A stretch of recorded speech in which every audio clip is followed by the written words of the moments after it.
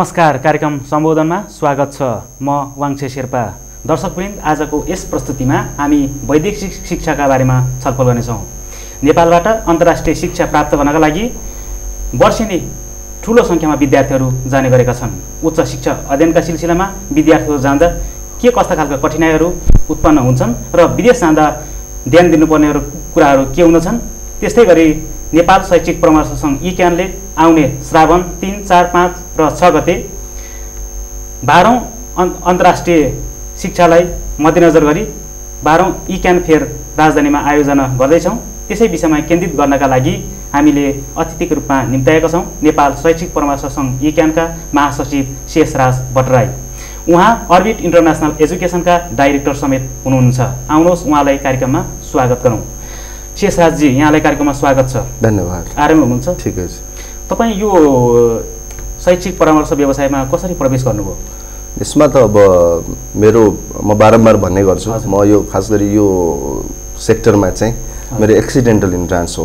त्यसका कथाहरू फेरि कुनै दिन चर्चा गरौँला। तर पनि त्यो दिनदेखि जुन दिनदेखि मैले यो क्षेत्रमा प्रवेश गरेँ त्यस पछाडि चाहिँ मैले यसलाई प्यासनको रूपमा र आफ्नो। कर्मथलोको रूपमा। बनाएको छु हजुर जस्तो अहिले तपाईँको चाहिँ अस्ट्रेलिया अमेरिका क्यानाडादेखि लिएर लन्डनदेखि लिएर इभन बङ्गलादेशतिर पनि भारतसम्म पनि यहीँ नजिकको मुलुकमा होइन नेपालबाट चाहिँ तपाईँको चाहिँ धेरै विद्यार्थीहरू चाहिँ उच्च शिक्षा अध्ययनका सिलसिलामा जाने गर्दछन्।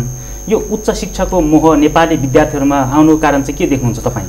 त्यसमा स्वाभाविक हो नेपाली विद्यार्थीहरू जुन विदेशमा गएर अन्तर्राष्ट्रिय शिक्षा हासिल गर्न। चाहन्छन् त्यसलाई स्वाभाविक रूपमा लिनुपर्छ। त्यसमा सुरुमा त अब सामाजिक संरचना केही कुराबाट त्यसलाई हेरिनु पर्दछ। दोस्रो भनेको अन्तर्राष्ट्रिय शिक्षा हासिल गर्नको लागि नेपाली विद्यार्थीहरू नेपालको शिक्षामा कतै न कतै त्रुटि त नभनौँ तर पनि एक किसिमको एउटा ग्राफ्स गर्न सक्ने क्षमता नेपाली विद्यार्थीहरू इन्टरनेसनल एरिनामा कम्पिट गर्न नसक्ने अवस्था भएको हुनाले एउटा लार्ज स्केलमा नेपाली विद्यार्थीहरू चाहिँ अन्तर्राष्ट्रिय शिक्षा लिनको लागि जानलाई स्वाभाविक रूपमा हेरिनुपर्छ।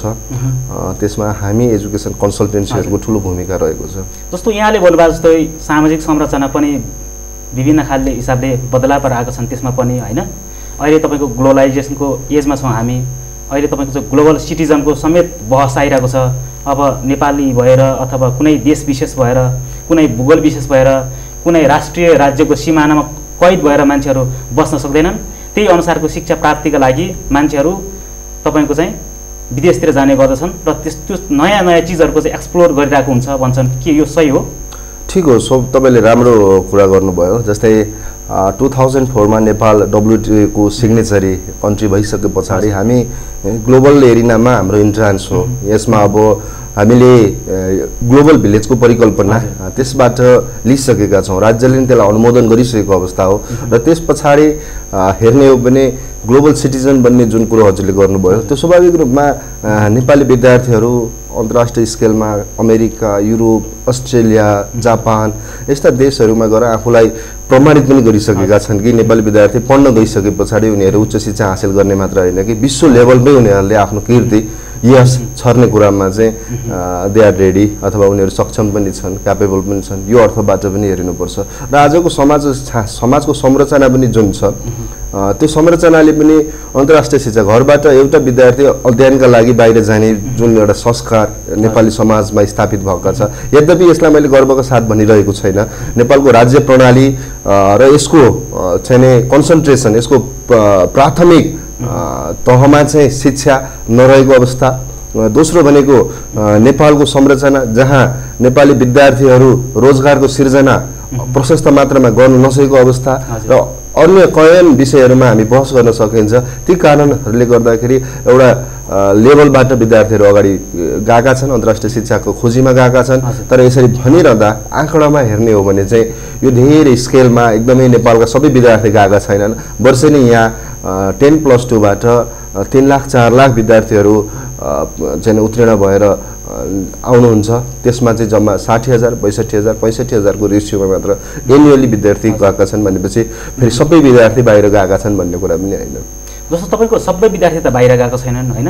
नेपालमा तपाईँको करिब करिब पचासी लाख जनसङ्ख्या तपाईँको पढ्ने पढाउने काममा क्रियाशील छ। त्यो हिसाबले त तपाईँको छ विद्यार्थी सङ्ख्या पढ्ने पढाउने भनेको ठुलो सङ्ख्या तपाईँको पाउने तिन करोड पपुलेसनमा। त्यो भनेको त निकै ठुलो मात्राको सङ्ख्या हो नि। र त्यो हिसाबले हेर्दाखेरि तपाईँको चाहिँ विदेश जाने त अलिक कमै पनि देखिन्छ। तर यो तपाईँको बढिरहेको छ कि वर्षे नि होइन? अनि हामी विद्यार्थीहरूलाई किन रोक्न सकिरहेको छैनौँ होइन? जुन अन्तर्राष्ट्रिय शिक्षा तपाईँहरूले प्रस्तुत गर्नुहुन्छ नि त्यो तपाईँहरूले पस्कने देखाउने शिक्षाहरू हुन्छ नि विश्व अन्तर्राष्ट्रिय विश्वविद्यालयहरूले होइन? तिनीहरूले दिने शिक्षा त्यो अनुसारको शिक्षा नेपालमै उपलब्ध गराउन सकिने त्यो वातावरण कहिले सिर्जना होला जस्तो यहाँलाई लाग्छ? जस्तै यसमा अब पहिलो कुरो त नेपाली विद्यार्थीहरूलाई रोक्ने कुरा गर्नुभयो तपाईँले। यो रोकिनु हुँदैन। न यो राज्यले रोक्न सक्छ। न तपाईँ हामीले रोक्न सक्छौँ। होइन नेपाली विद्यार्थी अन्तर्राष्ट्रिय शिक्षा हासिल गर्नको लागि जाने उसको अधिकार यो शिक्षाको अधिकार उसको मौलिक अधिकार यो संविधानले नै उसलाई प्रदत्त गरेको छ। यो मौलिक अधिकार अन्तर्गत ऊ विश्वको कुनै पनि कुनामा गएर राज्यले दौत्य सम्बन्ध कायम गरेका चाहिँ मुलुकमा गएर ऊ अध्ययन गर्न सक्दछ। त्यसकारण रोक्ने भन्ने कुराहरू चाहिँ ती सम्भव छैन। र अर्को कुरा भनेको राज्य जब सबलीकृत बाटोमा समृद्धको बाटोमा अगाडि बढेको अवस्था राज्यले आफैले पनि प्रोक्लेम गरेको छ त्यो त्यो चाहिँ आफ्नो चाहिँ एउटा दायरा हो अथवा हामी त्यो अब्जेक्टिभमा हिँडेका छौँ भन्ने यो अवस्थामा राज्यको त्यो धारणालाई पनि इम्प्लिमेन्ट गर्नको लागि विदेश विद्यार्थी जानुपर्छ। ताकि उनीहरू कला कौशल सिप त्यो शिक्षाबाट हासिल गरेर देश बनाउनको लागि उहाँहरू फर्किनु पर्दछ। त्यसकारण एउटा कुरा विद्यार्थी पढ्न जानको लागि रोकिनुपर्ने अवस्था छैन। दोस्रो कुरा तपाईँले भन्नुभयो नेपालमै नेपालको एजुकेसन ग्राफ्स गर्नको लागि यहीँ किन सम्भव नभएको? अथवा यहीँ त्यस्ता खालका चाहिँ युनिभर्सिटी कलेजेसहरू किन नआएको भन्ने कुरामा अब यो पहिलो प्रश्न यो राज्यको सरोकारवालाहरू शिक्षासँग सरोकार राख्ने ती प्रबुद्ध व्यक्तित्वहरूलाई सोधिनुपर्ने प्रश्न हो। तथापि हामी इक्यानको लबीबाट हामी अर्बिटको चाहिँ म सञ्चालकको हैसियतबाट यस्ता धेरै फोरमहरूमा मैले बारम्बार भन्ने गरेका छौँ। अब हामीले समृद्ध देशको परिकल्पना गर्दैछौँ भने विदेशबाट पनि नेपालमा विद्यार्थी पढ्नको लागि ल्याइनुपर्छ। त्यसको लागि हामी म अर्बिटको सञ्चालक भएको हैसियतले म इक्यानको चाहिँ महासचिव भएको हैसियतले म त्यो लबी गर्न तयार छु। हाम्रा अफिसहरू विश्वका धेरै ठाउँहरूमा छन् अस्ट्रेलियामा छन् अमेरिकामा छन् जापानमा छन् युकेमा छन् त्यस्ता अफिसहरूबाट अब ल्याउन नेपाली विद्यार्थीहरू के अरे अन्तर्राष्ट्रिय विद्यार्थीहरू नेपालमै ल्याउन सकिन्छ भन्ने कुरामा हामीले बारम्बार भनेका छौँ। तर तर त्यो कुरामा चाहिँ राज्य राज्यमा भएका चाहिँ अहिलेका चाहिँ संरचनाहरूमा त्यो आउन सकिँदैन। म एउटा उदाहरण दिउँ। नेपालमा आज सबैभन्दा ठुलो विश्वविद्यालय त्रिभुवन विश्वविद्यालय। जसले नेपालको एजुकेसन सिस्टममा हायर एजुकेसनमा लगभग नब्बे प्रतिशत विद्यार्थी होल्ड गरेको छ। अरू एघारवटा विश्वविद्यालय छन् नेपालमा। अरू दसवटाले जम्मा लगभग दस प्रतिशत विद्यार्थी मात्र होल्ड गर्छन् जबकि नब्बे प्रतिशत होल्ड गर्ने त्रिभुवन विश्वविद्यालयको अवस्था आज विश्व मानचित्रमा हेर्ने हो भने कुनै पनि हायर ऱ्याङ्किङ चाहे त्यो टाइम हायर ऱ्याङ्किङमा हेर्ने हो भने कहीँ पनि देखा पर्दैन। त्यो भएको हुनाले विद्यार्थी पढ्न यहाँ किन आउने? यस्ता कोर्सेसहरू डेभलप गरौँ जहाँ नेपालको आफ्नो पहिचान होस् मौलिक पहिचान होस् यो विश्वको सुन्दर देश हो। यहाँ माउन्टेनरिङ भन्ने चाहिँ एउटा कोर्स डेभलप गरौँ। गौतम बुद्ध जन्मेको देश हो। बुद्ध सर्किटको चाहिँ यहाँनिर एउटा परिकल्पना गरेर यहाँ विश्वबाट चाहिँ विद्यार्थी ल्याउनको लागि यो चाहिँ बुद्ध विश्वविद्यालय लुम्बिनी विश्वविद्यालयलाई एउटा आधुनिक अथवा विश्व चाहिँ समाजमा एउटा बेचिने खालको सेलिङ पोइन्ट यसमा क्रिएट गरौँ। त्यस्ता खालको कोर्सेसहरूमा हामीलाई पनि निजी क्षेत्रबाट हामीलाई पनि सहभागी गराइयोस् भनेर राज्यसँग हामीले बारम्बार लबी गरेका छौँ। तथापि यो कुरामा अहिलेसम्म राज्यबाट चासो देखाएको छैन तर एउटा कुरा भने त्यस्ता सम्भावनाहरू देखिसकेका छन्। भर्खरै मात्र परराष्ट्र मन्त्रालयले यो काम सुरुवात गरिसकेको छ। यसका लागि म लगायत चाहिँ नि अम, इकानका अध्यक्ष विष्णुहरि पाण्डे हामी नै परराष्ट्र मन्त्रालयका चाहिँ परराष्ट्र सचिवसँगको एउटा कार्यदलमा हामी बसिसकेका छौँ छलफल भइसकेको छ यसका चाहिँ सम्भावनाहरूको खोजी गइसकेको छ यो पनि एउटा राम्रो पक्ष हो। हजुर। जस्तो यहाँले भने जस्तै तपाईँको चाहिँ विद्यार्थीहरूलाई विदेश पठाउन रोक्न सकिँदैन किनभने तपाईँको नेपाली समाज व्यापक रूपमा पुनर्गठन भएको छ। हिजोको जस्तो छैन नि तपाईँको। आज मान्छेहरू तपाईँको चाहिँ घरबाट निस्किन थालिसकेका छन्। तपाईँको वैदेशिक रोजगारको सिलसिलामा अन्तर्राष्ट्रिय श्रम बजारमा नेपालीहरू त्यत्तिकै छरेका छन्। त्यस्तै गरेर तपाईँको जागिरको सिलसिलामा एउटा ठाउँबाट अर्को ठाउँमा गाउँबाट सहर पस्ने र तपाईँको पढाइका सिलसिलामा त्यस्तै गरेर युनिभर्सिटीहरूमा छिर्ने अहिले तपाईँको सामाजिक सञ्जालको विकास भएको छन् होइन? त्यो हिसाबले तिनको मन मस्तिष्कहरू त दिन दिनै चेन्ज भइरहेको हुन्छ। यो अवस्थामा त रोक्न त सकिँदैन। तर पनि हामी जुन तपाईँले भन्नुभयो नि विद्यार्थीहरू अन्तर्राष्ट्रिय विद्यार्थीहरू चाहिँ यहाँ नेपालमा भित्राउने गर्नु भन्ने खालको कुराहरू गर्नु गर्नुभयो। जस्तो केही विदेशी पर्यटकहरू तपाईँको चाहिँ पन्ध्र दिन एक महिनाको कोर्स गुम्बाहरूमा आउने बुझ्ने जान्ने त्यो बाहेक तपाईँको चाहिँ यहाँ नेपालमै डिग्री लिन्छु नेपालको युनिभर्सिटीमा पढ्छु भन्ने खालका विद्यार्थीहरू त खासै देखिँदै देखिँदैन खासै भन्दा नि दुई चारजना बाहेक त देखिँदै देखिँदैन। त्यो खालको नेपाल शैक्षिक परामर्श सङ्घ इक्यानको तपाईँ महासचिव पनि हुन्छ। यसबारेमा तपाईँहरूको ठोस योजनाहरू के छ? अनि यसमा अब हामीले मैले अघि पनि भनिसकेँ जस्तै इक्यान एउटा एसोसिएसन हो। हजुर। नेपालमा छरिएका धेरै एजुकेसन कन्सल्टेन्सीहरू मध्ये व्यावसायिक रूपमा काम गर्ने उच्च चाहिँ एउटा हाई डिग्री चाहिँ व्यावसायिक मात्र होइन कि। होइन? नेपालबाट लगभग ठुलो जमातमा विद्यार्थीलाई अन्तर्राष्ट्रिय शिक्षा दिलाउन सक्ने क्षमता राख्ने इक्यान आजको डेटमा राज्यसँग मिलेर यो काम गर्न तयार छ। तर के राज्यले इक्यानको कुरा सुन्दछ त? स्वाभाविक रूपमा त्यो होइन। तपाईँलाई म भनौँ नेपालमा आज कन्सल्टेन्सीलाई हेर्ने दृष्टिकोण राज्यले पोजिटिभ रूपमा राखेको छैन। राज्य आज पत्याउन सक्ने अवस्थामा छैन। तथापि हामीले बारम्बार भनिसकेका छौँ हिजो एउटा इलाइट ग्रुपमा मात्र विश्वको चाहिँ शिक्षा प्राप्त गर्न अथवा विदेश गएर पढ्न सक्ने एउटा चाहिँ साम- सम्भ्रान्त परिवारमा मात्र सम्भव थियो भने हामी एजुकेसन कन्सल्टेन्सीहरू ल्याएर मध्यम वर्गमा ल्याएर चाहिँ होइन सम्भव छ है। तपाईँ पढ्न सक्नुहुन्छ भने तपाईँलाई विश्वको कुनै पनि कलेज या युनिभर्सिटीले तपाईँलाई रिक्रुट गर्न अथवा एडमिसन दिन तयार छ भन्ने खालको चाहिँ एउटा लबी गऱ्यौँ। हामीले त्यो चाहिँ एउटा क्षमता प्रदर्शन गऱ्यौँ र आज ठुलो जमातमा चाहिँ नेपाली विद्यार्थीहरू विदेशमा गएर पढेका छन्। तर यसरी भनिरहँदाखेरि हामी त्यो मैले त्यो गर्वका साथ यो भनिरहेका छैन। तर एउटा इन्डिकेटरमा हामीले सबल पनि बनाइरहेको छौँ। राज्य जिडिपीले चलेको देश हो त्यो जिडिपीमा पनि चाहिँ रेमिट्यान्सको चाहिँ ठुलो हिस्सा चाहिँ विदेशबाट आउने चाहिँ रेमिट्यान्सको चाहिँ भूमिका छ। यसरी विदेशमा पनि अमेरिका मैले भर्खरै चाहिँ हिजो अस्ति भर्खर एउटा रिपोर्ट हेर्दै थिएँ जहाँ राष्ट्र ब्याङ्कको रिपोर्टमा चाहिँ सबैभन्दा बढी पैसा भित्रिने देश अमेरिका रहेछ। अमेरिकामा त नेपाली विद्यार्थीहरू त्यहाँनिर त रोजगारका लागि जाँदैनन्। तिनीहरू पढ्नै बाहनामा गएका धेरै विद्यार्थीहरू छन् नि त त्यहाँ। उहाँहरूले पठाएको चाहिँ नि पैसाले गर्दा देश चलेको छ भने अब यो काम गलत भयो भन्ने कुरामा म छैन। तर कालान्तरमा गएर एउटा हामीले लार्जर स्पेक्ट्रमबाट चाहिँ अब विदेशी विद्यार्थी पनि नेपाल भित्राउनु पर्दछ भन्ने कुराहरूको लबी चाहिँ हामीले बारम्बार गरिसकेका छौँ। तर यसका लागि देशको शिक- शिक्षा यसको संरचनाहरू दरिलो हुनुपर्दछ। तपाईँले भने जस्तो केही सानो सङ्ख्यामा रिसर्चका लागि अन्य कुराहरूको लागि नेपालमा आएर पढ्ने विद्यार्थीको जमात एउटा सानो स्केलमा छ तर होइन यसलाई एजुकेसनै हबै बनाउनुपर्छ राज्यको प्रायोरिटीमा यो पर्छ भने त हामीसँग सहकार गरोस्। करिकुलमहरू चेन्ज गर्नुपर्ने छ यसको ह्युमन रिसोर्सेसहरू चेन्ज गर्नुपर्ने छ अन्य धेरै कुराहरू चेन्ज गरेर एकै ठाउँमा बसौँ।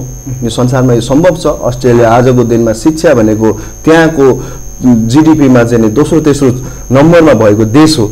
शिक्षा उहाँहरूले त्यसरी शिक्षालाई चाहिँ व्यापारको रूपमा लिनुभएको छ। यसरी भन्दा पनि त्यहाँ सबैभन्दा सक्सेसफुल छ। भने नेपाल त सुन्दर देश हो। हेर्नुहोस् एसियाको सबैभन्दा सुन्दर देश हो। पूर्वीय सभ्यताको एउटा मानव देश हो। यहाँ त धेरै कुराहरू छन् जहाँ विश्वभरिका मान्छे आएर पढ्न सक्छन्। भने यहाँ बनाऊ भन्ने कुराहरू राज्यसँग हामीले बारम्बार गरेका छौँ। जस्तो तपाईँहरूले तपाईँले जे भन्नुभयो भने हिजो एलिट क्लासका मान्छेहरू मात्र विदेश पढ्न जान्थ्यो अमेरिका पढ्न जान्थ्यो अन्तर्राष्ट्रिय शिक्षालयमा उनीहरूको मात्र एक्सेस हुन्थ्यो। तर आज तपाईँहरू जस्तो शैक्षिक परामर्शदाताहरू व्यवसायहरूले गर्दाखेरि त्यो त्यसमा चाहिँ सहजीकरण भएको छ। मध्यम वर्गका मान्छेहरू पनि धेरै तपाईँको चाहिँ अमेरिका अस्ट्रेलिया क्यानाडा विभिन्न देशहरू पुगेका छन्।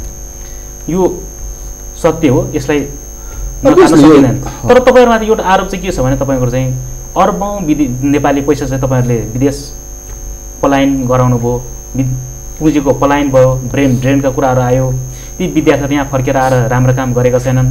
अब रेमिटेन्समा चलेको छ अरब अरब गएका छन् होइन खाने मुलुक गएका छन् कोही डिबी पढेर गएका छन् कोही इलिगल हिसाबले अन्तर्राष्ट्रिय श्रम बजारमा गएका छन् कति विद्यार्थीको हैसियतले छन्। ती विद्यार्थीहरूले यहाँ आएर के त्यस्तो तपाईँले पठाउनु भएको स्टुडेन्टहरू आज कहाँ छन्? तिनले के गरिरहेका छन् तपाईँहरूले त्यस्तो केही रेकर्डहरू राख्नु भएको छ? स्वाभाविक रूपमा त्यो धेरै धेरै मात्राबाट हामीले त्यसलाई हेरेका छौँ। यहाँबाट विद्यार्थी जाँदाखेरि खास गरी एजुकेसन कन्सल्टेन्सी जो जसको दायरा अहिले राज्यको शिक्षा मन्त्रालयको दायरा अन्तर्गत हामी जो दर्ता भएका छौँ यसबाट विद्यार्थी ठगिनुपर्छ भन्ने कुराहरू ती रेयर मात्रामा छन्।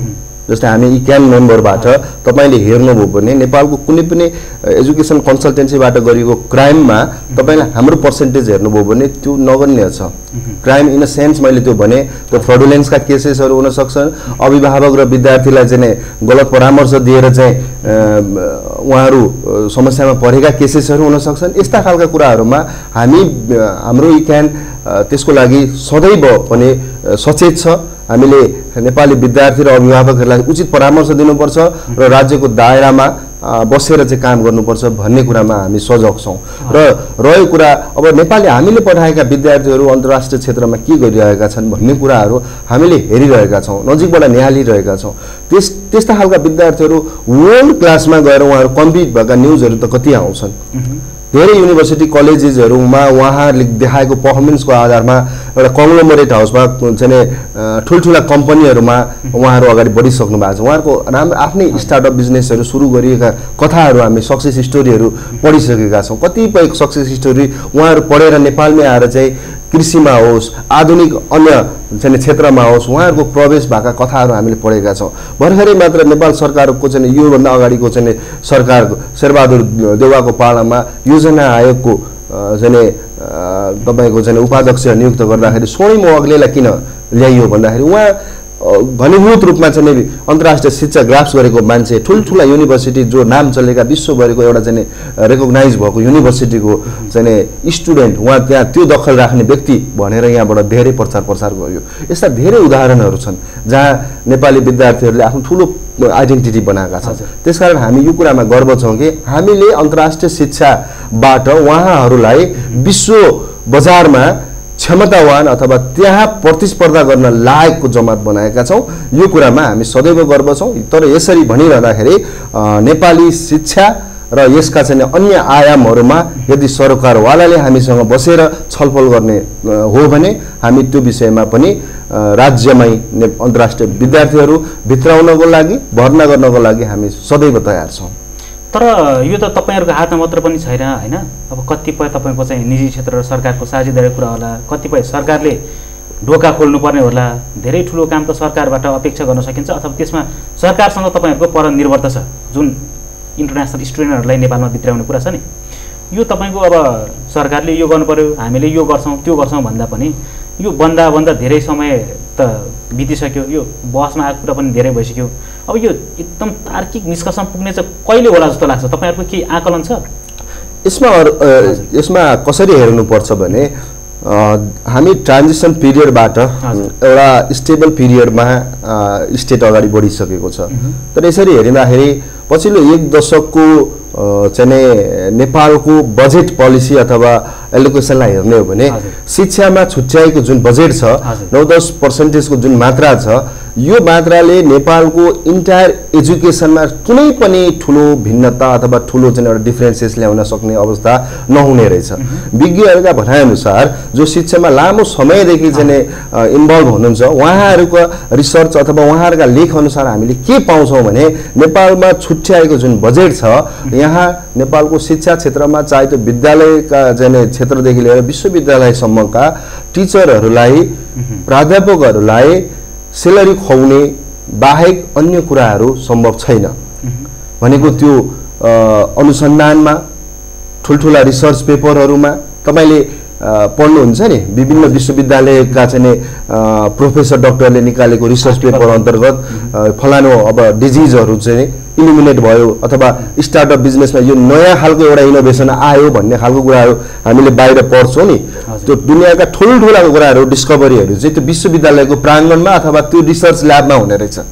हामीमा त्यो सम्भव छ त। हाम्रा प्रोफेसर डाक्टरहरूले त्यो कुरालाई कसरी हेर्नु भएको छ? उहाँहरूका लेखबाट हाम्रो राज्यले नयाँ एउटा इनोभेसन के पायो त? त्यो त छैन।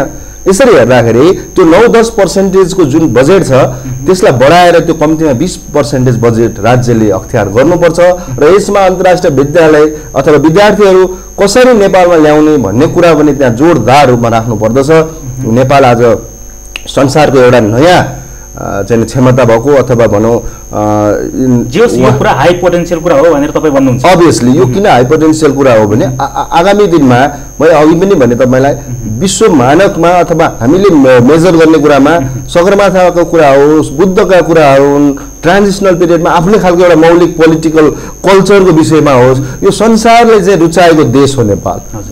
त्यस कारणले पनि यो यो देशमा धेरै विद्यार्थीहरू अन्तर्राष्ट्रिय चासो भएको हुनाले गर्दाखेरि यहाँ आउने सम्भावना झन् पर्याप्त छ।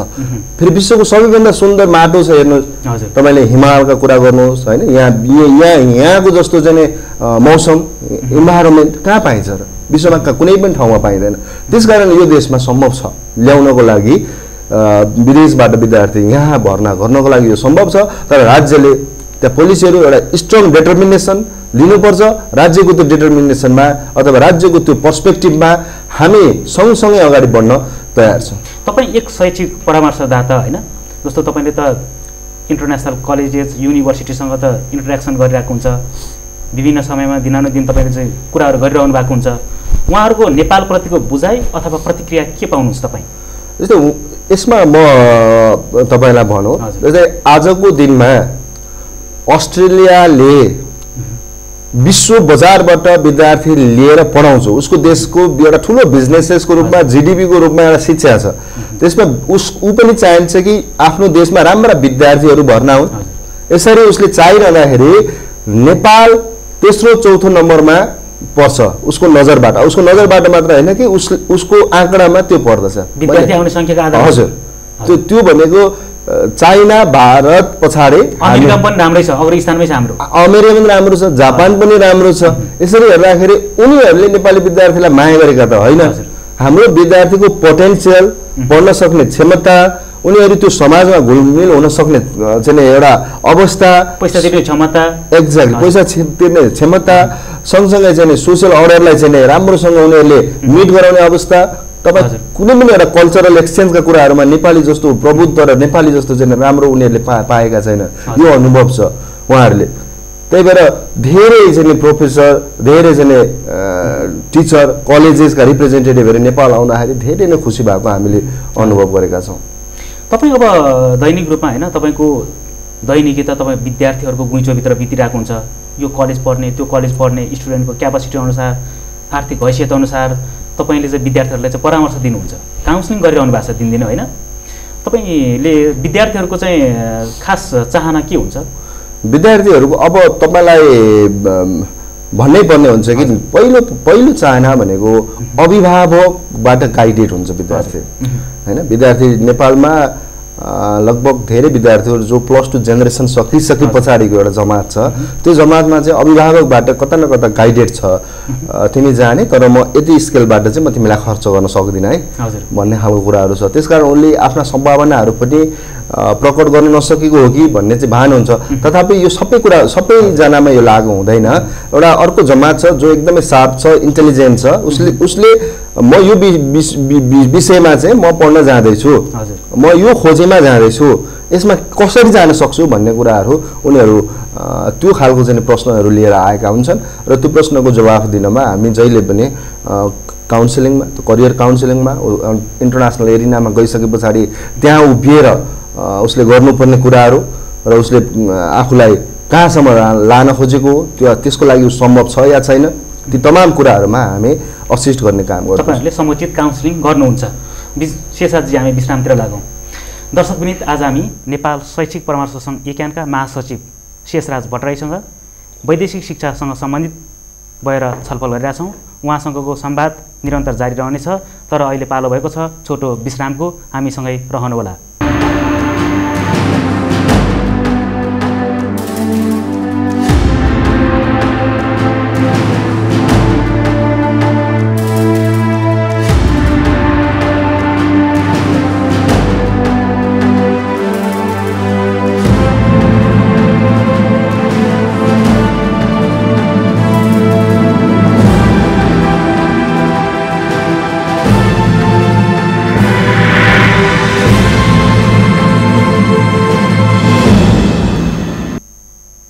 दर्शकवृन्द कार्यक्रममा पुनः स्वागत छ। शेषराज भट्टराईजी हामीले आज वैदेशिक शिक्षाका कुराकानी गरिरहेका छौँ। विश्रामभन्दा अगाडि हामीले वैदेशिक शिक्षा किन र कस्तो छ भन्ने हिसाबले हामीले कुराकानी गरौँ अब तपाईँ बताइदिनुहोस् जस जुन नेपाल शैक्षिक परामर्श सङ्घले श्रावण चार पाँच र छ गते यो चार दिने चाहिँ एजुकेसन फेयर गर्दैछ। तपाईँहरूले त वर्षेनी गरिरहनु भएको छ होइन? यो चाहिँ बाह्रौँ एजुकेसन फेयर। यो के को लागि? जस्तै हामी नेपाल शैक्षिक परामर्श सङ्घ इक्यान आज नेपाली समाजमा खास गरी अभिभावक विद्यार्थी र अन्य सरकारवाला जमातमा हाम्रो एउटा ब्रान्ड इक्विटी जुन छ इक्यानको त्यसको लागि कता न कता यो फेयर यो एजुकेसन फेयर जो श्रावण तिन चार पाँच र छ गते हुन गइरहेको छ। यो एजुकेसन फेयरबाट पनि प्रमाणित हुन्छ। यो बाह्रौँ संस्करणमा हामी आइपुग्दाखेरि योभन्दा एघारवटा फेयर यसभन्दा अगाडिका एघारवटा फेयरले पक्कै पनि नेपाली विद्यार्थी र अभिभावकलाई उचित परामर्श सुझाव सल्लाह दिएको हुनाले गर्दाखेरि यसको एउटा ठुलो हाइप नेपाली समाजमा छ। हामी एजुकेसन कन्सल्टेन्सी एरिनामा छ र हामीसँग आबद्ध कलेजेस युनिभर्सिटीका रिप्रेजेन्टेटिभहरूको लागि पनि यो एउटा एक किसिमको फेस्टिभ मोमेन्ट नै हो। यसमा त विद्यार्थीहरूको त सहभागिता हुने नै भयो। विद्यार्थी लक्षित कार्यक्रम नै भयो। कहाँ पढ्ने कसरी पढ्ने कुन कलेज छान्ने कुन देश जाने त्यो त हुन्छ नै होइन? अन्तर्राष्ट्रिय युनिभर्सिटीका प्रतिनिधिहरू यहाँ सहभागी हुन्छ अथवा हुँदैनन्? हुन्छ भने कस्तो खालको चाहिँ हुन्छन्? अभियसली यहाँनिर धेरै युनिभर्सिटी कलेजेसका धेरै मुलुकका युनिभर्सिटी कलेजेसहरूको सहभागिता हुन्छ। त्यसमा खास गरी अस्ट्रेलिया जापान बेलायत त्यस पछाडि साइप्रस भारत बङ्गलादेश अमेरिका लगायत अन्य धेरै मुलुकका कलेजेस युनिभर्सिटीका रिप्रेजेन्टेटिभहरूको चाहिँ प्रत्यक्ष सहभागिता यहाँ रहन्छ। त्यसकारण पनि यो आफैमा एउटा फर्स्ट ह्यान्ड इन्फर्मेसन लिनको लागि एउटा उचित थलो हो यो थलोमा गएर अभिभावक र विद्यार्थीहरूले सही परामर्श पाउनुहुन्छ र उहाँहरूले बनाएको एउटा चाहिँ धारणा म विदेश अध्ययन गर्न यसकारण जाँदैछु र यसका लागि के गर्नुपर्छ भन्ने कुनै पनि अप्ठ्याराहरू छन् अथवा त्यस्ता खालका सन्देहहरू छन् भने त्यो सन्देहलाई पनि चिर्नका लागि। यो एउटा उपयुक्त फोरम हुन्छ र बाह्रौँ संस्करण अझ यस अर्थमा पनि भव्य छ कि यसमा लगभग हामीले सानो तयारीमा सानो इन द सेन्स कि हामीले छोटै अवधिमा यसलाई बजारमा ल हामी यसरी आउँदैछौँ है भन्ने खालको कुरा गर्दाखेरि लगभग आजका दिनमा नाइन्टी पर्सेन्टेज स्पेसहरू अकुपाई भइसकेको अवस्था त्यहाँ एसोसिएट हुने अ, चाहिँ नि सपोर्टरहरू त्यहाँ ब्रान्डहरू अहिले सबै भरिसकेको अवस्था पनि हो। त्यहाँ तपाईँहरूको पेभिलियन होला स्टलहरू होला कति बजे कन् कन्सल्टेन्सीहरूको सहभागिता हुन्छ? त्यहाँ त्यहाँ धेरै कुरा त हामीले यो एज इ क्यान मेगा फेयर भनेर यसलाई नाम दिइरहँदाखेरि यहाँ इक्यानकै रिप्रेजेन्टेटिभहरू नै हुने हुन्। तर ती इक्यानले काम गरेका युनिभर्सिटी कलेजेस त्यस अन्य देशका अन्य मुलुकका चाहिँ नि सरकारवाला शैक्षिक निकायहरू हुने भएको हुनाले गर्दाखेरि यसमा इक्यानकै सहभागिता बढी हुन्छ। जस्तो तपाईँहरूले यो एउटा कार्यक्रम राख्नु भएको छ तपाईँहरूको मेजर कार्यक्रम भयो ई क्यानको होइन? जस्तो ई क्यानको इलेक्सन भएको पनि तपाईँको तिन महिनाभन्दा बढी भइसक्यो। तपाईँहरूको प्रतिबद्धताहरू थियो नि चुनावमा? कति पुरा भएन कति पुरा भएन होला? यो पुरा गर्न चाहिँ तपाईँको योजनाहरू के के चाहिँ पारित भइसकेका छन् अथवा भइसकेका छन्? जस्तै यसमा अब हामीले तिन महिनाको यो टेन्युरलाई हेर्ने हो भने निर्वाचन भएर आइसकेको अवधिसम्म आउँदाखेरि। हामीले केही राम्रा कामहरू गरेका छौँ। त्यसमा प्रतिबद्धता जनाएका कुराहरू पनि छन्। र यो अवधिमा अब हामीले यसभन्दा पछाडि कसरी जाने भन्ने कुराहरूमा पनि हम-। छलफल घनीभूत रूपमा चाहिँ हाम्रा इन्डस्ट्रीका अन्य अग्रजहरूसँग त्यसै गरी चाहिँ हामी आन्तरिक रूपमै पनि छलफल गरेर केही दिनमै निकट भविष्यमै हामीले त्यसको घोषणा पनि गर्नेछौँ। हामीले यो यो काम गऱ्यौँ भनेर ब्रिटिस काउन्सिल जो हाम्रो एउटा ठुलो बिजनेस पार्टनर हो। त्यो ब्रिटिस काउन्सिलसँग पनि हामीले एउटा ठुलो एग्रिमेन्ट गरिसकेका छौँ जसबाट हाम्रा इक्यानियन व्यवसायी साथीहरू लाभान्वित हुन सक्नुहुन्छ उहाँबाट धेरै बेनिफिट लिन सक्नुहुन्छ यस्ता धेरै कुराहरू छन्। स्टुडेन्ट स्टु- स्टुडेन्टको लागि चाहिँ के अभियसली स्टुडेन्ट र अभिभावकहरूको लागि हामीले बढीभन्दा बढी जनचेतना जगाउने खालका अभि अभिमुखीकरण गर्ने खालको ओरिएन्ट। ओरिएन्ट गर्ने खालका कार्यक्रमहरू ल्याउँदैछौँ जसमा मिडियाबाट डेजिमिनेट गर्ने कुराहरू हुन सक्छन् सँगसँगै अन्य धेरै वर्कसपहरू हुन सक्छन् त्यस्ता खालका कुराहरू हामीले गरि नै रहेका छौँ। विद्यार्थी अभिभावकहरूलाई बढीभन्दा बढी लाभान्वित गर्नको लागि कसरी स्कलरसिपहरूबाट कसरी चाहिँ नयाँ कोर्सेसहरूबाट उहाँहरू लाभान्वित हुनु सक्नुहुन्छ भन्ने कुराहरूमा पनि हामी त्यस्ता खालका कार्यक्रमहरूमा पनि कटिबद्ध भएर लागि परेका छौँ। भनेपछि एजुकेसन फेयरका कुरा भयो। अब हजुर। मे- म फेरि तपाईँको चाहिँ एब्रोड स्टडीसँगै जोड्न चाहन्छु। जस्तो यो हामी कुरा गरिरहन्छौँ होइन? वैदेशिक शिक्षाको बारेमा जस्तो अस्ट्रेलिया अमेरिका विभिन्न देशहरू छन् उच्च शिक्षा अध्ययनका लागि विद्यार्थीहरू जाने देशको रूपमा। यो देश अनुसार चाहिँ तपाईँको चाहिँ कस्तो खालको चाहिँ भिसा नीतिहरू शिक्षा नीतिहरू छन्? के फरक पाउनुहुन्छ तपाईँ? र त्यसमा धेरै अब देशै अनुसार स्वाभाविक रूपमा एउटा सोभरेन कन्ट्री भइसके पछाडि आफ्ना आफ्ना देशका फरक रूपमा विद्यार्थीहरूलाई दिने पोलिसी अथवा भनौँ। उहाँहरूलाई दिने चाहिँ सुविधाहरूका विषयमा फरक फरक ढङ्गबाट छ। कुनै देशमा विद्यार्थीलाई पिआर दिँदैन होला। लङ टर्मसम्म लङ टर्मसम्म बस्न सक्ने त्यहाँनिर पोलिसीहरू नहोला। अब कुनै देशमा त्यो सुविधाहरू छ त्यहाँ पढ्न गइसके पछाडि केही कुराहरू पुरा गरिसके पछाडि उहाँ त्यसका लागि पर्मानेन्ट रेजिडेन्स बन्न सक्ने अवस्थामा पुग्नुहुन्छ। सँगसँगै अनि धेरै इस्युजहरू छन्। त्यो कन्ट्री वाइज फरक फरक छ। अब इन्डिया हाम्रो एउटा लार्जर स्केलमा एउटा ठुलो जमात इन्डिया पढ्न जान्छ। अब इन्डिया र नेपालको बिचमा त्यति भिसा पोलिसीले त्यति त्यही फरक पार्दैन। तर त्यही कुरा अमेरिकाको लागि बेग्लै तरिकाबाट लागु हुन्छ। वर्क पर्मिट खास गरी विद्यार्थी भएर बस्दाखेरि कति घन्टा काम गर्ने भन्ने कुराहरू पनि फरक फरक ढङ्गबाट होला। लेबर ल अन्तर्गत उहाँहरूले वेजेस अन्तर्गत पाउने अमाउन्टमा पनि फरक छ। यस्ता धेरै इस्युजहरू छन्। अब त्यस त्यो एउटा लार्जर चाहिँ भा कुरा भएको हुनाले गर्दाखेरि अब हामी इक्यान अथवा भनौँ शैक्षिक शिक्षा मन्त्रालयबाट नो अब्जेक्सन लेटरको कुरा गर्ने हो भने हामी अस्सी बयासीवटा मुलुकमा नो अब्जेक्सन लेटर लिइसकेको अवस्थामा ती अस्सी बयासीवटा देशको बारेमा बयासीवटा मुलुकहरू छन् जहाँ नेपाली विद्यार्थीहरू जान्छन्। जान्छन्। जहाँ पढ्नको लागि नो अब्जेक्सन अभियसली किनभने हामीले दौत्य सम्बन्ध कायम गरेका मुलुकमा त हामीले अध्ययन गर्नको लागि पठाउनु त्यो स्वाभाविक पनि हो फेरि। तपाईँको अनुभवमा चाहिँ विद्यार्थीहरूको रोजाइ चाहिँ कुन देश हुन्छ? अहिले हेर्नु पहिलो रोजाइ। चाहिँ भारत नै बनेको छ। भारत जो नो अब्जेक्सन लेटर यद्यपि इस्यु गरिँदैन इन्डिया जाँदाखेरि पढ्नको लागि तर पनि अन्य सोर्सेसहरूबाट हामी एउटा ठुलो मात्रामा चाहिँ भारत गएको पाउँछौँ। त्यस पछाडि हामी अहिले हेर्ने भने अस्ट्रेलिया अस्ट्रेलिया यो यो वर्ष अस्ट्रेलिया अघिल्लो वर्ष जापान थियो। हजुर। होइन? त्योभन्दा अगाडि अन्य मुलुकहरू हुन सक्छन्। त्यसमा अब धेरै कुराहरू त्यहाँ पनि फ्याक्टरले काम गर्छ।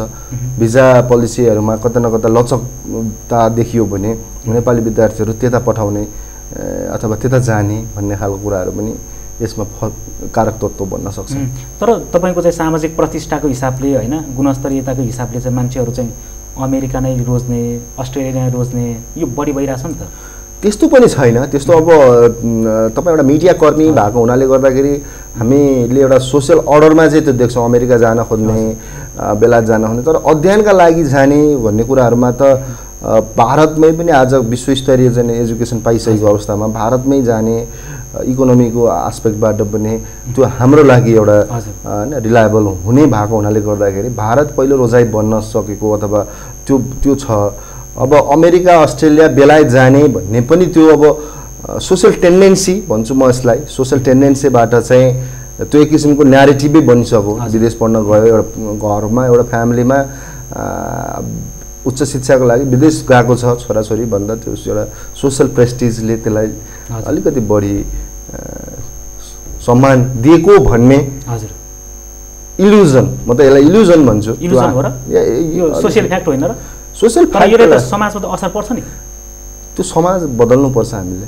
कसरी बदल्न बदल्ने। किन। विदेश पढ्न विदेशमा के छ? र हामी त। गएर आएका छौँ हेरेका छौँ त्यहाँ भन्दा त फेरि स्टुडेन्टहरू नजाला नि तपाईँको होइन, व्यापार होइन। कसिएला फेरि। होइन, त्यो त- तपाईँहरूको सटर बन्द होला होइन त्यस्तो त्यो कहाँ हुन्छ। हामी हामीले नेपाली विद्यार्थीलाई त्यहाँ गएर तपाईँ एकदमै ठुलो मान्छे हुनुहुन्छ तपाईँ नेपालमै बस्दा चाहिँ सानो मान्छे हुनुहुन्छ भन्ने ढङ्गबाट परामर्श गरेका छैनौँ र गर्नेवाला पनि छैनौँ।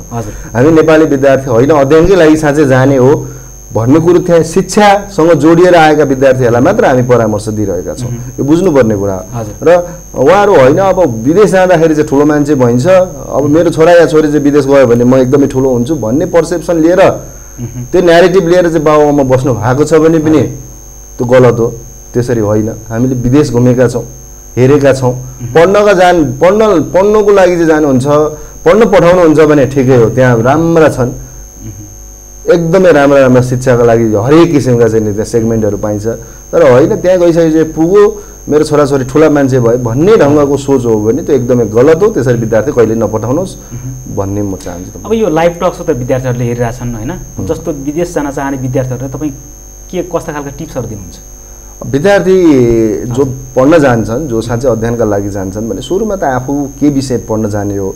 म त्यहाँ किन जाँदैछु? हजुर। त्यसको सट्टामा म यहीँ पढ्न सक्थेँ कि सक्दिनँ थिएँ अथवा त्यसका लागि त्यहाँ विदेशमा गएर चाहिँ मैले नयाँ कुरा के आर्जन गर्न सक्छु भन्ने कुरामा ऊ तयारी हुनुपर्छ।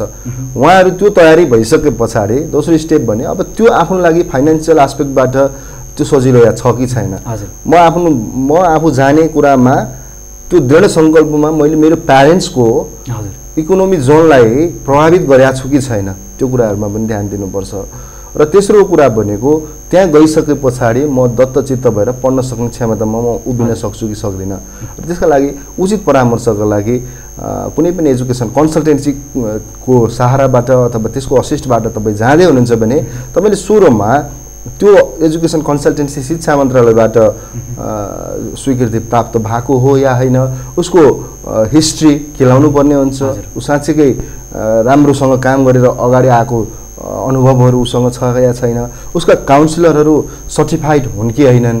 त्यसमा काम गर्ने अन्य साथीहरूबाट चाहिँ नै पोजिटिभ कुराहरू सुनिएका छन् कि छैनन् भन्ने खालको कुराहरू इन्फर्मेसनहरू गेन गरेर अनि मात्र तपाईँ जानुहोस्। विद्यार्थीहरूलाई म अर्को कुरा के भन्न चाहन्छु भने विश्व स्तरमा अमेरिका बेलायत अस्ट्रेलिया त्यहाँ गएर ठुलो मान्छे हुन्छ या नेपालीहरू चाहिँ त्यहाँ गइसके पछाडि समृद्ध हुन्छ। हाम्रो एउटा सोसियल आइडेन्टिटी बन्छ भन्ने कुरा एकदमै ठुलो भ्रम हो। त्यो होइन। हजुर। नेपाली भएरै बस्नुको मजा यहीँ नै छ।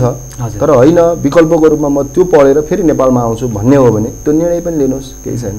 तर कन्सल्टेन्सीहरू हेर्नु हेर्नुहोस् अनगिन्ती छन्। पुतली सडकमा हेर्नु भने तपाईँको एउटै बिल्डिङमा तपाईँको छ आठ दसवटा बोर्ड झुन्ड्याएका छन्। फरक फरक कन्सल्टेन्सीहरूको अनि यो कन्सल्टेन्सीहरू पनि धेरै छन् जस्तो ई क्यानका मेम्बर छन् ई क्यानका गैर मेम्बर छन्। अब विद्यार्थीहरूले कसरी छुट्याउने कि? विभिन्न तपाईँको चाहिँ व्यथितिहरू विकृतिहरू पनि आएका हुन्छन् समस्याहरू पनि आएका हुन्छन्। एजुकेसन कन्सल्टेन्सीले यो गर्यो त्यो गर्यो भन्छन्। कतिपय अवस्थामा त मान्छेहरूले के आरोपसम्म लगाउँछ भने यो दोस्रो चाहिँ मेन पावर हो पनि भन्छन् क्या। त्यसलाई तपाईँको नजरिया नेपाली समाजको आम आम नजरिया आम। नजरिया हो भन्ने कुरामा म सहमत जनाउँछु। तर हामीले यो खालको एउटा दृष्टिकोणलाई अथवा यो खालको एउटा मिथलाई चिर्नको लागि यो यथार्थ होइन भन्नका लागि हामीले बारम्बार विभिन्न सरकारवाला निकायहरूसँग बसेर छलफल गरेका छौँ र गलत गर्नेलाई दण्ड गर्ने र राम्रा काम गर्नेलाई प्रोत्साहन गर्ने पुरस्कृत गर्ने। बाटाहरूको चाहिँ खोजी गर्ने अविलम्ब अविलम्बन गर्ने भन्ने खालका कुराहरूमा हामी नगएका होइनौँ। तर यहाँ बुझ्नुपर्ने कुरा के हो भने नेपाली एजुकेसन कन्सल्टेन्सीहरूमा इकानको मात्रमा नाम लिँदैन अरू एसोसिएसनहरू पनि छन् जोसँग आबद्ध हामी एजुकेसन कन्सल्टेन्सीहरू छौँ। हामी साँच्चीकै अन्टरप्रेनर कल्चरमा बसेर काम गरिरहेका छौँ। हामी राम्रोसँग काम गरिरहेका छौँ। हामीमा खोट लाउने ठाउँ छैन। तर कन्सल्टेन्सीको बाहनामा र फास्ट ट्र्याकबाट पैसा कमाउन सकिन्छ भनेर। यो सेक्टरमा इन्ट्रान्स गर्ने केही एजुकेसन कन्सल्टेन्सीहरू खराब त छन्। हजुर। तर यो एउटा सोसियल इफेक्ट यो क्षेत्रको बढी भएको हुनाले गर्दाखेरि यसको चर्चा परिचर्चा बढी चल्ने गरेको पाइन्छ। हजुर। प्रहरीमा हेर्नु भएन अस्ति गोरे सुनकाण्डबाट हजुर। त्यहाँ पनि पुलिसमा पनि त खराब मान्छे थिए नि त। पत्रकारमा पनि त खराब मान्छे छन् नि त। अनि धेरै सेगमेन्टमा खराब मान्छे त छन्। तर अब ती खराबको एउटा जमातले गर्दा त्यो इन्टायर सेक्टरै गलत हो भन्न त कहाँ पाइन्छ? सबैतिर खराबै खराब छन्। सरकार चाहिँ तपाईँको नजरमा के देख्नुहुन्छ अनि सरकारका अहिले सरकारले सरकार त मूल स्रोत हो नि। तपाईँको चाहिँ मुहानै फोहोर भयो भने त अरूतिर त प्रदूषित हुने कुरा त भयो। सर अहिलेको वर्तमान सरकारले तपाईँले कसरी लिनुभएको छ? अहिले अब सरकारले अब एजुकेसन कन्सल्टेन्सीलाई एउटा दायरामा ल्याएर एउटा सिस्टममा ल्याएर त्यही अन्तर्गतको ट्रिट गर्ने चाहिँ नि एउटा परिपाटी अथवा एउटा सुरुवात गरेको छ त्यो सराहनीय छ। त्यसमा हामीले बारम्बार उहाँहरूसँग अन्तर्क्रियाका कार्यक्रमहरू गरिसकेका छौँ। र उहाँहरूले हामीलाई हेर्ने दृष्टिकोणहरू केही हदसम्म सकारात्मक बनेको हामी पाउँछौँ। हजुर। त्यसबाट पनि हामीले उहाँहरूकै पार्टीसँग विचार मिल्ने भएर हो कि? जस्तो यी क्यान वितरण राजनीतिकरण भयो राजनीतिक आस्था भयो दलीयकरण भयो हिजो राजनीतिक आधारमा यो प्यानल त्यो प्यानल भन्यो चुनावको बेला त्यही भएर हो कि? अथवा के हो खास? सजिलो राज्य राज्यले अब राज्यले कुनै पनि एउटा सेगमेन्टलाई भनौँ होइन? राज्यको एउटा इन्टायर राज्यलाई एफेक्ट गर्ने एउटा क्षेत्रलाई राजनीति आँखाबाट हेर्ने कुरा आफैमा गलत हो। त्यो त्यो त्यो अवस्थाबाट चाहिँ इक्यान अहिले राज्यको कुन पोल पोलिटिकल नेचरसँग मिल्छ। मिल्दैन। हामी चुनावमा जितेर आएको दिनदेखि हामीले पोलिटिकल डिस्क्रिमिनेसन कहाँ गरेका छौँ? त्यो। स्वाभाविक हो। हिजो हिजोको दिनमा चुनाव उठ्नको लागि अ, दुईटा गुट बनिनु हुँदैन थियो। त्यो बन्यो। बनिसके पछाडि त्यहाँ एक किसिमको जित्नको लागि आफैलाई सबैलाई सबल सबल बनाउनको लागि आफ्ना आफ्ना प्रोक्लेमहरू त्यहाँ ल्याइए। त्यो प्रोक्लेममा अब केही राम्रा साथीहरू अगाडि बढे। अब यसरी भनिरहँदा हार्ने साथीहरू नराम्रा थिए। भन्ने कुरा पनि म गर्न चाहन्न। उहाँहरू झन् अनुभवी र झन् राम्रा साथीहरू हुनुहुन्थ्यो। हजुर। होइन? त्यसरी हुँदा चुनाव थियो चुनावमा जित आएर स्वाभाविक थियो नतिजा काउन्ट हुन्थ्यो। अब त्यो काउन्टमा आइसके पछाडि अब दुई वर्षको कार्यकाल इक्यानको जुन छ त्यो कार्यकाल भनेको यहाँ आबद्ध तिन सय अठासी एजुकेसन कन्सल्टेन्सीहरूको हकितमा गर्ने र चुनावमा देखेका तिता अनुभवहरूलाई चाहिँ छोडेर हामी अगाडि बढ्ने भन्ने शेषराज भट्टराईजी हामी कार्यक्रमको अन्त्यतिर पनि आइसकेको छौँ। अन्तिममा तपाईँ के भन्न चाहनुहुन्छ? अन्त्यमा अब हामी अहिले नेपाल शैक्षिक परामर्श सङ्घ इक्यान बाह्रौँ मेगा फेयरको सङ्घारमा छ। सम्पूर्ण अभिभावक र विद्यार्थीहरूलाई यो फेयरमा आएर यो ब्रिकेटी मण्डपमा हुँदैछ। तिन साउनको तिन चार पाँच र छ गते। यो फेयरमा आएर सहभागी जनाएर त्यहाँबाट चाहिँ फर्स्ट ह्यान्ड इन्फर्मेसन ग्राफ्स गर्नुहोस् अथवा त्यो लिनुहोस्। त्यो लिइसके पछाडि तपाईँहरू विदेशमा पढ्न जाने एउटा सोच बनाउनु भएको हो भने त्यो तपाईँको लागि सबैभन्दा ठुलो उत्तम थलो हुन्छ। त्यहाँ धेरै एजुकेसन कन्सल्टेन्सीका स्टलहरू राखेका छन् जहाँ अन्तर्राष्ट्रिय सङ्घ संस्थाका प्रतिनिधिहरू खास गरी एजुकेसन सेक्टरका चाहिँ प्रतिनिधिहरू आएर बस्नु भएको छ। र अर्को एउटा चाहिँ योपल्ट हामीले इक्यानको पनि आफ्नो एउटा छुट्टै पेभिलियन राखेका छौँ। र इक्यान भनेको के हो बुझ्नेको लागि चाहिँ यो पेभिलियनबाट आएर पनि जानकारी लिन सक्नुहुन्छ भन्न चाहन्छु। हस् यहाँको महत्त्वपूर्ण समय र संवादको लागि धन्यवाद। दर्शकवृन्द उहाँ हुनुहुन्थ्यो नेपाल शैक्षिक परामर्श सङ्घ एक्यानका महासचिव शेषराज भट्टराई। उहाँसँगको यो संवादसँगै कार्यक्रम सम्बोधनबाट मलाई पनि बिदा दिनुहोस्। जनजनको सञ्चार धड्कन अरनीको टेलिभिजन हेर्दै गर्नुहोला।